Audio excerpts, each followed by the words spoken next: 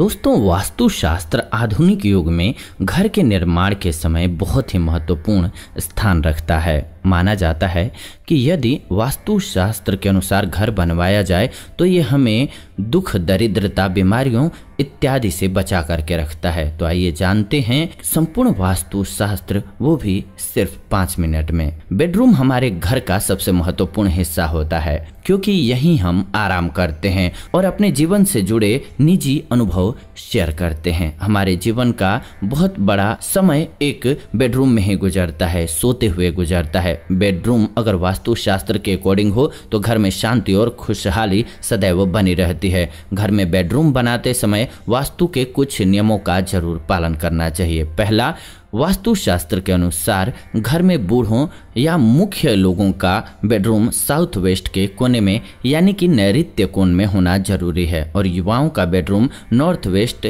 यानी कि वायव्य कोण में होना चाहिए। युवाओं का बेडरूम नॉर्थ में भी हो सकता है। दूसरा घर में बेडरूम कभी भी नॉर्थ ईस्ट यानी कि ईशान कोण में या साउथ ईस्ट यानी कि अग्नि कोण में नहीं होना चाहिए। तीसरा, घर में बच्चों का या अविवाहित लोगों का बेडरूम नॉर्थ वेस्ट यानी कि वायव्य कोण में होना अच्छा माना जाता है। चौथी बात, वास्तुशास्त्र के मुताबिक बेडरूम हमेशा खुला और हवादार होना चाहिए और हमेशा मन को शांति देने वाला होना चाहिए। आइए अब स्लीपिंग पोस्चर्स के बारे में जानते हैं। बेडरूम में बेड हमेशा इस तरीके से होना चाहिए ताकि सोने वाले का सिर नॉर्थ और पैर साउथ की तरफ़ न हो, क्योंकि साउथ में पैर फैलाना वास्तु की दृष्टि से अच्छा नहीं माना जाता है। छठी बात वास्तु शास्त्र के अनुसार बेडरूम में रखे बेड का सिरहाना ईस्ट या साउथ की तरफ़ रखना श्रेष्ठ माना जाता है। सातवीं बात,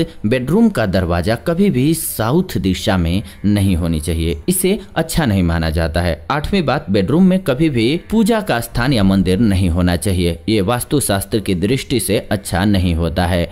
नौवीं बात, बेडरूम के साथ यदि बाथरूम जोड़ना हो तो बेडरूम को नॉर्थ या वेस्ट में बनाना उत्तम होता है। दसवीं बात, वास्तुशास्त्र के मुताबिक बेडरूम में बेड के ऊपर छत या बीम या मोटी पत्ती नहीं होनी चाहिए। ग्यारहवीं बात बेडरूम में पढ़ने वाले का मुख नॉर्थ या ईस्ट में अच्छा माना जाता है। अपने इष्ट देव से संवाद साधने और उन तक अपनी बात पहुँचाने के लिए पूजा स्थल बहुत उपयोगी होता है। घर छोटा हो या बड़ा हो, हिंदू धर्म के अनुसार घर में मंदिर की स्थापना ज़रूर करनी चाहिए। मंदिर की स्थापना करते मंदिर का स्थापना करना जितना ज़रूरी है, उससे भी ज़्यादा ज़रूरी है उसका सही दिशा में होना। इस स्थिति में सही जगह पर आप स्थान देंगे घर में, तभी आपके जीवन में आपको उचित स्थान मिल पाएगा। वास्तु के अनुसार जीवन को सुखी और सकारात्मक बनाने के लिए बहुत से टिप्स हैं। घर में पूजा स्थल कहाँ बनाना चाहिए? पहली बात, नॉर्थ ईस्ट। जी हाँ घर में पूजा स्थल की स्थापना जब भी कीजिए,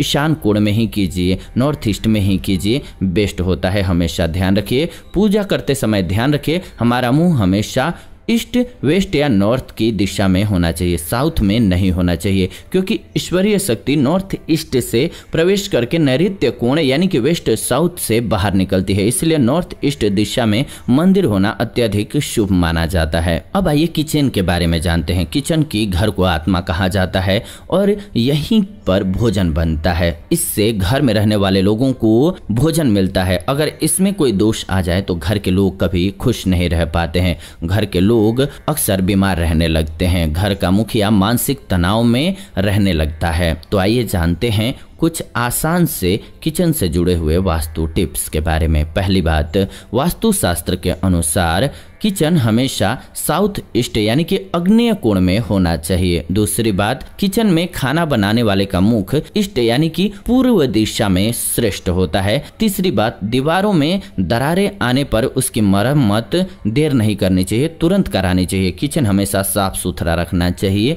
चौथी बात, रात में सोने से पहले किचन की साफ़ सफ़ाई अच्छी अच्छे से कर लेनी चाहिए। पांचवी बात जूठे बर्तन वॉश बेसन में कभी भी नहीं छोड़ना चाहिए। सुबह और शाम को भोजन बनाने से पहले किचन में धूप ज़रूर जाए, इस बात का ध्यान रखिए। छठी बात किचन में नीला, काला, हरा रंग लगाने से बचना चाहिए, नहीं तो दोष होता है। आज के युग में वास्तु शास्त्र के अनुसार बहुत से व्यक्ति रुचि लेने लगे हैं। लेना भी चाहिए, क्योंकि ये पूर्णतः विज्ञान है और इससे लाभ मिलता है। घर को परेशानियों और बीमारियों से बचाने के लिए शौचालय बनाते समय ये वास्तु शास्त्र का बहुत ध्यान रखना चाहिए। वास्तु शास्त्र के मुताबिक घर में शौचालय बनाने के लिए सबसे उत्तम स्थान साउथ वेस्ट और साउथ होता है। दूसरी बात वास्तुशास्त्र की दृष्टि से घर के मध्य में साउथ ईस्ट दिशा में या नॉर्थ ईस्ट दिशा में टॉयलेट तो समझिए घर में बीमारियाँ होंगी, परेशानियाँ आएँगी, बहुत सी दिक्कतें आएँगी। इसीलिए नहीं बनाना चाहिए इन जगहों पर। तीसरी बात, शौचालय या बाथरूम का दरवाज़ा दक्षिण दिशा को छोड़ करके अन्य किसी भी दिशा में बनाया जा सकता है। चौथी बात वास्तु शास्त्र के अनुसार टॉयलेट की सीट साउथ नॉर्थ फेस में होनी चाहिए। पांचवी बात, शौचालय या बाथरूम में नल उत्तर पूर्व दिशा या पश्चिम दिशा में रखना उचित माना जाता है। अब आइए कुछ और बातों पर ध्यान देते हैं। पहली बात, घर में सीढ़ियाँ हमेशा क्लॉकवाइज होनी चाहिए। दूसरी, घर की हाई पिक वॉल हमेशा दक्षिण पश्चिम होनी चाहिए, यानी कि ऊँची जो होती है सबसे दीवार वो इसी दिशा में होनी चाहिए। तीसरी बात, घर में खाली जगह नॉर्थ ईस्ट से लेकर के नॉर्थ वेस्ट तक छोड़नी चाहिए। चौथी बात, घर में ड्राइंग रूम नॉर्थ ईस्ट या नॉर्थ वेस्ट में बनाना अच्छा रहता है। पांचवा, घर में कोई भी कांटेदार दूध निकलने वाले पेड़ पौधे नहीं लगाने चाहिए।